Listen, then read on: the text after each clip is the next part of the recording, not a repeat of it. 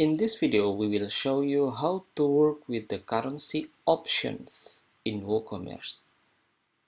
So for example, in this demo website, you can see that I do not use the US dollar, for example. So if you want to change the currency to US dollar, you can do it by visiting WooCommerce settings page you can see on the general tab currency option. Now you can change the currency to your currency. For example US dollar. I will choose this one. Then I will click save change.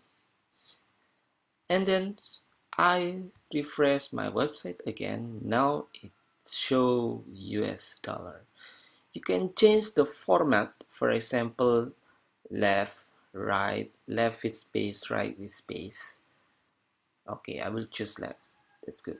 But let's say if you want to remove the decimals I will put 0 for example.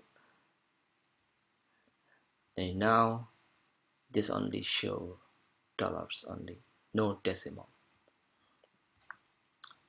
I will put to the default again on this general tab you can also choose the your base location and your selling location.